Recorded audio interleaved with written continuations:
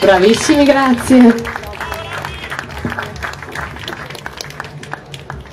Ed ora io devo lasciare spazio alla meravigliosa voce di